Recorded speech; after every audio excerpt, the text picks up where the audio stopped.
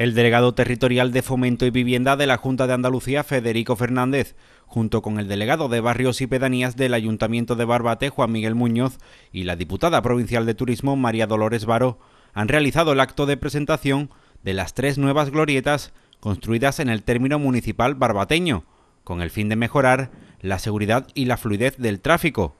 En concreto, se han realizado la construcción de tres nuevas rotondas en los puntos kilométricos 9500, 9.850 y 10.250 de la carretera A2233, en uno de los núcleos turísticos más importantes de la localidad barbateña. Esta infraestructura en la que se han invertido un millón de euros pretende mejorar el tráfico en las intersecciones, mejorando la seguridad vial y dando cumplimiento con una histórica demanda de los vecinos y usuarios de esta carretera.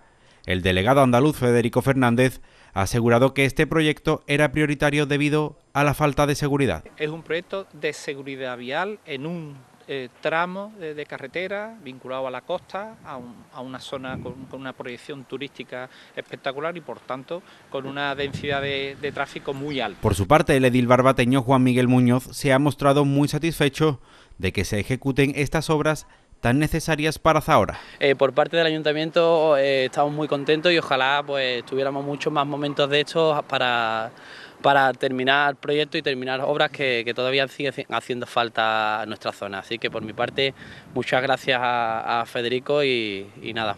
La ejecución de la obra tenía una duración prevista de 18 meses, pero debido a la urgencia que requería este proyecto, se ha realizado en seis meses.